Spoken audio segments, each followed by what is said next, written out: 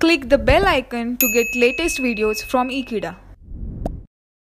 Hello friends, here in this particular video we will learn the breakdown mechanism of PN junction diode. As far as breakdown is concerned, this is related with the characteristics of PN junction diode. So first of all, we'll look at the characteristics of PN junction diode in brief and then we will proceed further for again breakdown region, particularly Zener breakdown and avalanche breakdown of the PN junction diode.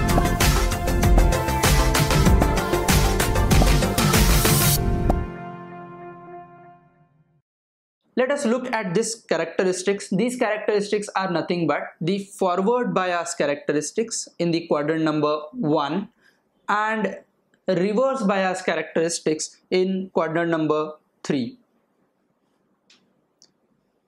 When I am saying that this is forward bias, that means current is flowing from anode to cathode. That's why current is positive. So this is current due to majority charge carriers. And the current which is flowing in the third quadrant which is exactly in opposite direction that is nothing but from cathode to anode this current is called as minority charge carrier current. So this current is if and this current is io which is nothing but reverse saturation current now before learning to the breakdown region, first of all we will learn these characteristics. These characteristics we have learned in previous video. This breakdown region occurs due to the fact that minority charge carriers are also present in my P as well as N region of diode.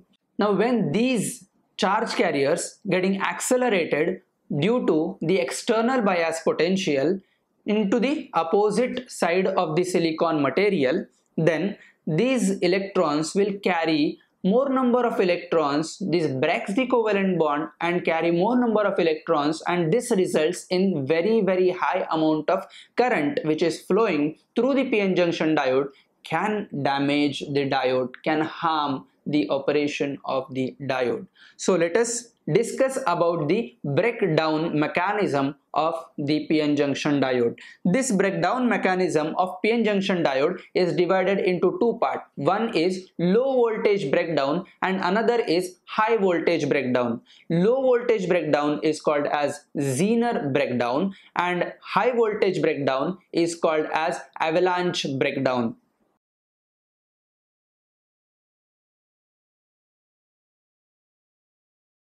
So first of all, let us concentrate on Zener breakdown.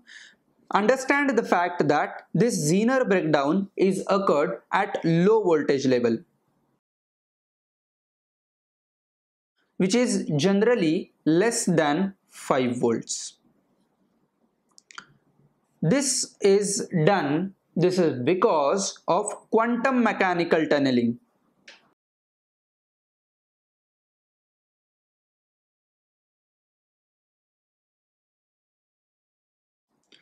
This quantum mechanical tunneling process that we have to learn and this is due to the high amount of energy that electrons that is minority especially minority charge carriers gain that particular amount of energy and move into another type of the silicon material in the diode. So learning the Zener breakdown is the fact that let us understand this particularly PN junction diode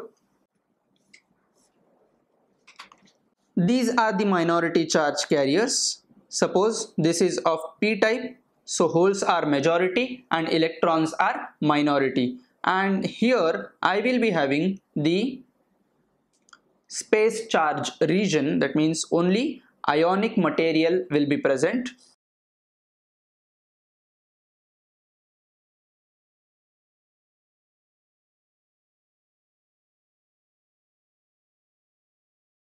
This is VD that is barrier potential and this is the width of the barrier. So we can say that the potential difference between these two is nothing but VD and the width is W.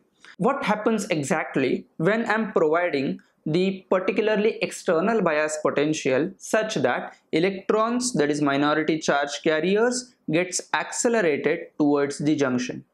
Now when they are moving towards the junction, they colloid on some atoms of silicon material. That means here in this particular atom, here's in this particular area, all the silicon atoms are sharing the electrons with each neighboring silicon atom. What happens? The electron gains sufficient energy, electron gets and what next? This electron gain this energy and breaks the covalent bond.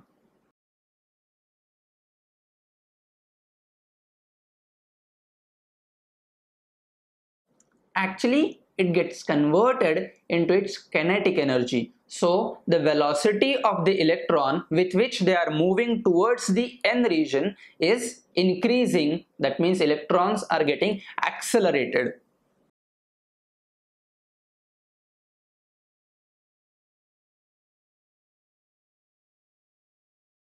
and due to the fact that kinetic energy is equal to half mv square m is a constant mass of electron and the velocity of the electrons will increase. So velocity of electron increases. As this velocity of the electron increases they colloid on atoms of silicon which further increases the number of electrons and then they can rupture the barrier in between this PN junction diode and they can reach here easily.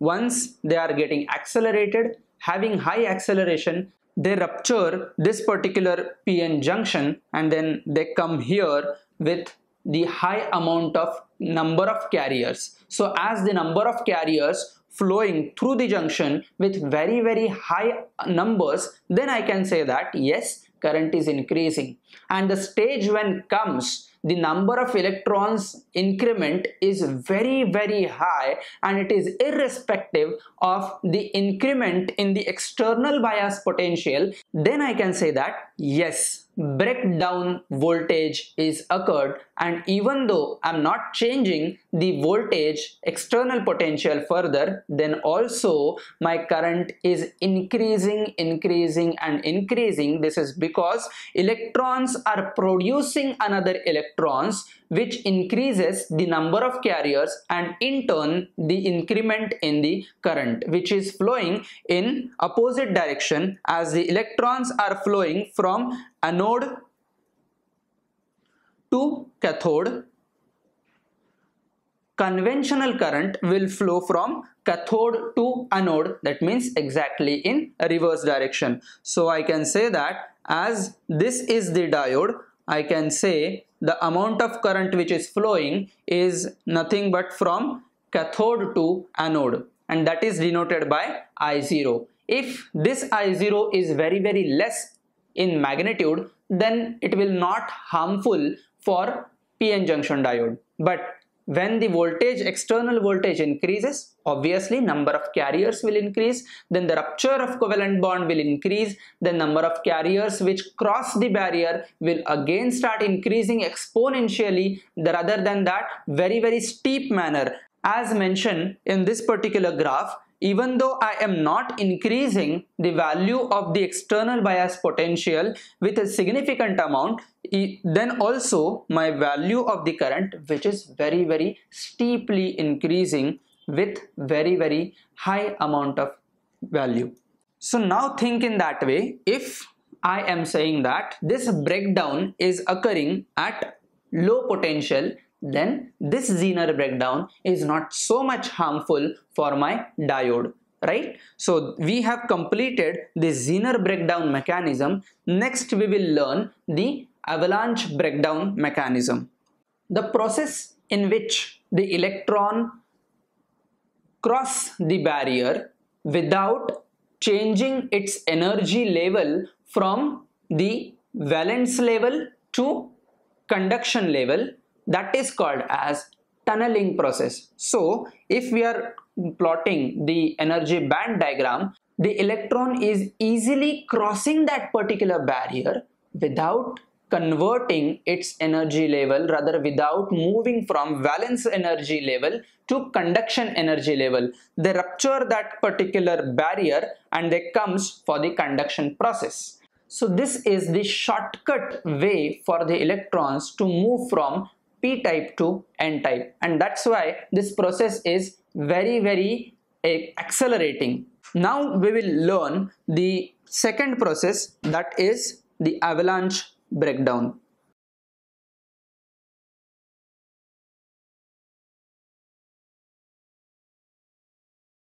Now in avalanche breakdown, basically the word avalanche says that जब हिमालय से बर्फ़ गिरता है at that time I can say that it's an avalanche. So one ice is converting into number of ice so mass increasing as it comes from top level to bottom level so as mass increasing and also due to gravity velocity also increasing so kinetic energy is highly increasing. So that's why the word is coming as avalanche breakdown. Avalanche word we can also say that another word that is avalanche multiplication. So the mechanism of avalanche breakdown is coming from avalanche multiplication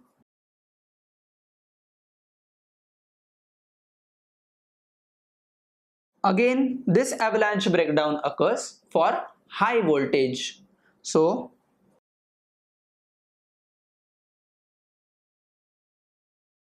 generally it is greater than 5 volts. Now we'll understand the mechanism. Without drawing the PN junction uh, structure, we will understand the phenomena of avalanche breakdown. Let us consider that this electron is present in one p side of p-n junction diode. This electron, if gets sufficient amount of energy to break the covalent bond, then what will happen? These two are covalent bonds, right? So let us see, this is a hole and this is the electron, right? And this electron is having sharing and this is called as covalent bond as these electrons are sharing so I can say that if this another electron is moving in this particular direction and get sufficient amount of energy externally to break that covalent bond what will happen? This electron carry two electron. First of all one electron of its own and second electron from this covalent bond it will get. Now both the electrons are free to run. Both the electrons will run in this particular direction right? And in this particular path they will find another two covalent bond.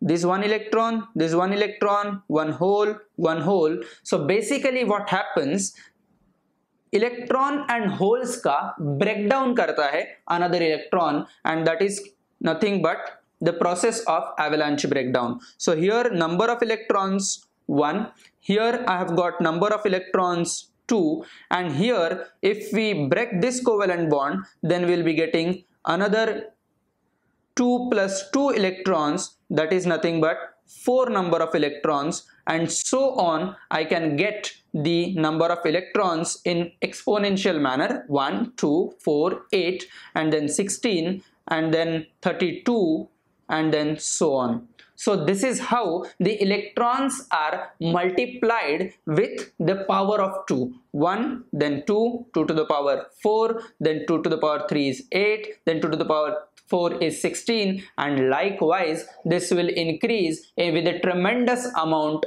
so number of carriers again increases as number of carriers increases then I can easily say that the number of carriers which crosses the barrier is also increasing and the amount of current which is flowing from cathode to anode is also increasing. So here we understood the fact that the avalanche multiplication is nothing but the multiplication of the electrons rather charge carriers when they are moving from p channel p side to n side of pn junction diode. As this number of electrons increases then this breakdown mechanism occurs. Due to the fact that keeping voltage same the amount of number of carriers increases which crosses the barrier and amount of current which is flowing in opposite direction increases. And this is how the process of avalanche multiplication. And with this avalanche multiplication mechanism we will be getting the avalanche breakdown and this can damage this can damage your device. Because I am operating on higher voltage side. We will stop here by the understanding the process Zener breakdown and avalanche breakdown.